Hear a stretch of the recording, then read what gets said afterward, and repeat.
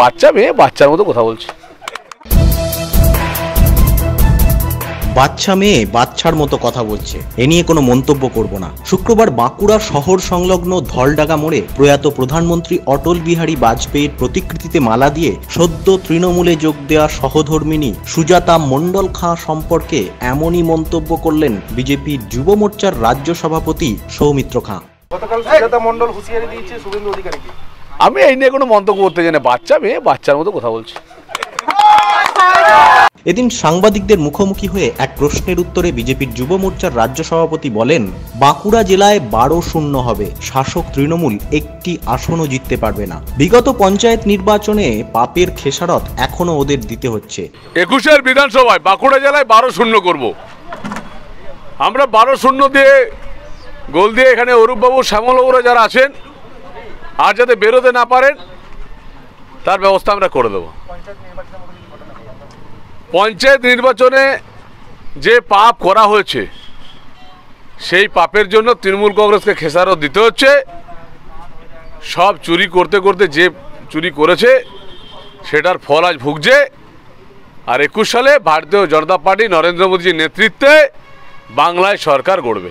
এরপরেই তৃণমূলের বাঁকুড়া জেলা সভাপতি ও রাজ্যের মন্ত্রী শ্যামল সাঁতরার নাম না করে স্বভাব সিদ্ধ ভঙ্গিমায় তাকে হাফ প্যান্ট মন্ত্রী বলে তিনি বলেন, ওই হাফ প্যান্ট মন্ত্রী চামচাদের এমন কান মুলে দেব যে বাইরে বেরোতে পারবে না।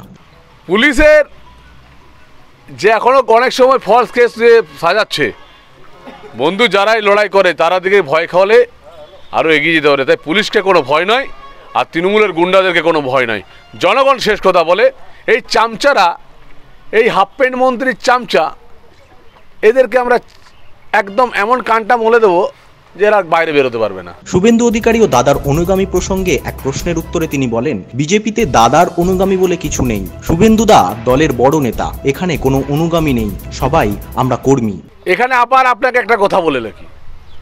দাদার অনুগামী বলে ভারতীয় জনতা পার্টিতে কিছু হয় না। শুভেন্দু দা আমাদের কাছে বড় লিডার। কিন্তু অনুগামী বলে কিছু হয় না ভারতীয় জনতা পার্টিতে। ভারতীয় জনতা পার্টিতে এরকম আঠেরোটা সিট পেয়েছে। দাদার সাথেও কালকে মিটিং হলো। এখানে সবাই ভারতীয় জনতা পার্টির কর্মী।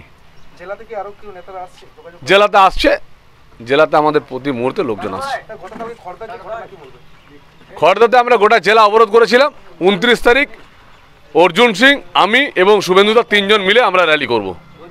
এ প্রসঙ্গে অবশ্য তৃণমূলের বাঁকুড়া জেলা সভাপতি ও রাজ্যের মন্ত্রী শ্যামল সাঁতরা বলেন, উনি তো পরিযায়ী পাখি, বছরের কোনো এক সময় জেলায় আসেন। আবল তাবল বকে উত্তেজনা ছড়ানোর চেষ্টা করছেন। একই সঙ্গে বিজেপি নয়, বিধানসভা নির্বাচনে তৃণমূল বাঁকুড়ায় বারোটি আসন জয়লাভ করবে বলেও দাবি করেন মন্ত্রী।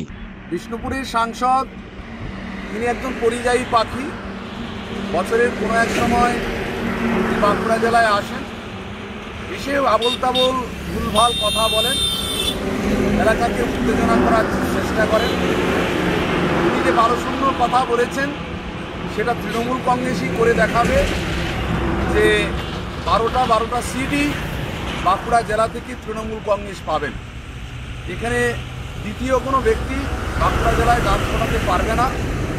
আর তিনি যাকে বাচ্চা মেয়ে বলেছেন, তিনি নিজে হয়তো বড় চৌবাচ্চা সেই জায়গায় কোনো কিছু বলার নেই। আর তিনি এই যে বক্তব্যগুলো দিচ্ছেন, তিনি অলরেডি তৃণমূলে আসার জন্য পা আছেন। আমরা স্বাগত জানাই। নিউজ আজ বাংলা, বাঁকুড়া।